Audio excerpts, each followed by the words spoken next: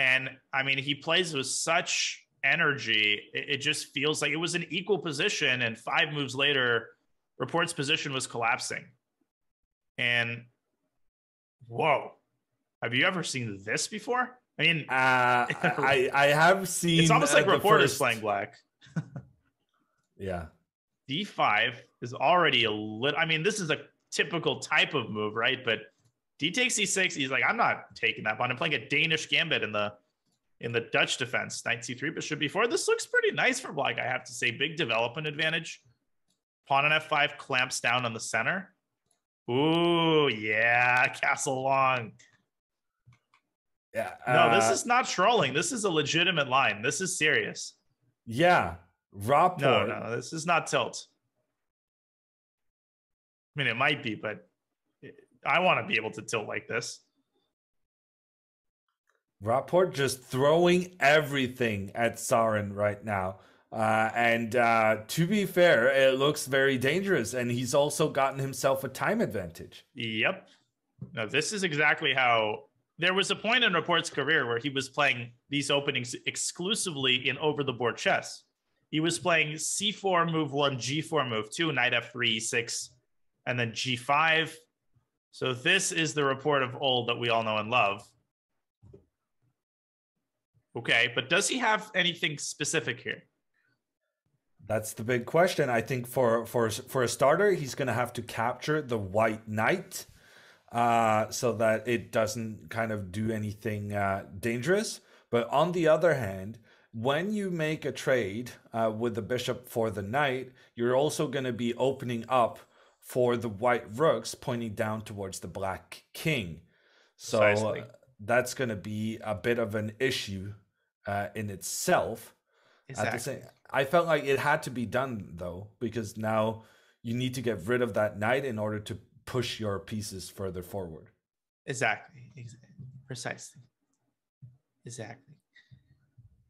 Is that uh, your Yasser? Yes, but what is what is this by by by Sarin?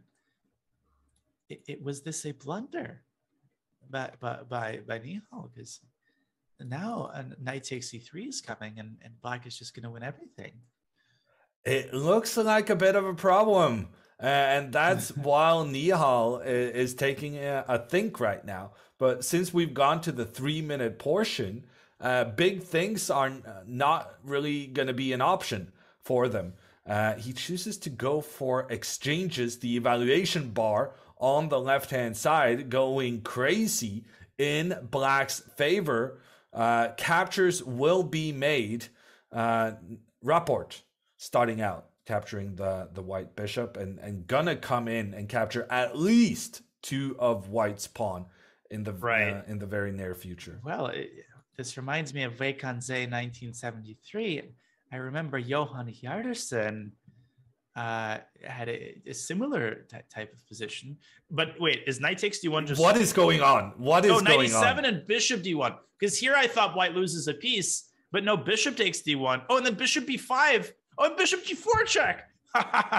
queen. Okay, Richard says, forget about all of that. I'm going queen g5. White's got a lot more hanging pieces than black. That's all I know about the position. How many pieces are hanging right now? One, the two, whites... three, four, five. But but White's completely losing. What about because... the rook on f1? Oh, six? Oh my god, that's crazy. But here's the thing: the queen is hanging, right? That's the first priority threat. If White plays f takes e3, I think after bishop takes g4, black wins a piece because the queen is attacked from two different directions, and you're going to lose the knight. And I don't think there's anything else that White can even do here. If you take d7, rook takes d7, and again, it's the same problem. There's a mate threat, and I think I think Rapport's going to win this game. Within that was a really moves. really good move with the queen. Queen g5, great intuitive eh, because he definitely didn't calculate everything here. He just sensed that with this overabundance of threats, it's going to be enough, and he can just take the rook. I think. Well, he has to take the rook, uh, but then and he's going to have an extra an extra rook. one of those. Right, an extra one of those, one of those little boys king b8, and white's not even getting that knight out of there. Yeah, just bc6. We're going to see res. I think we're going to see resignation soon, but wait a second. Well, Queen this c6 and rook clear. v1? No, you definitely can take on c6. The question is, But what if it takes on c6, you go rook b1 check? yes, king c8. Well, here maybe I can mount an escape. Queen c8, queen takes c6, king d8 maybe? Nope, that was wrong. Queen a8 and rook e1, I guess. I don't know, but then I had 93. I don't know what it was. I- This is, Nihal still tricky. ag- is Nihal doing it doing it again? 92. I saw this But move, but what about the rook? C7, yeah, you're only up a knight, quote unquote, and Black's king is still weak. I, I, this does pulls not this feel. off, oh my goodness! Now queen d3 and Black's king. And also, the Black Knight is not getting out of there very easily. Oh, Mhm. and there's a question of whether it wants to get out because if the knight moves, It- then the white rook will be able to join the attack. and potentially deliver checkmate. Now the king rook d1 here. Oh my goodness! This is looking White very scary. This, White could win this game. I mean, Black is definitely still winning somehow, as we see by the eval bar. But man, oh man, uh, it's so easy to blunder the knight here. H4. I would just go H4. He did blunder the knight according to the eval bar, right? H4 is such a good practical play. Queen F4, there's Queen C6 check, and then if the king goes to F7, you have Queen D5 check. And He's winning the win knight. He's, He's going winning to the win this game. Oh my Incredible god, stuff. this is insane. There's I mean, just this nothing happening working out for again. Rapport right now. But I'm saying that because Hess and I were losing our minds when this was happening with Grischuk, and it's happening again. It's crazy how he does this.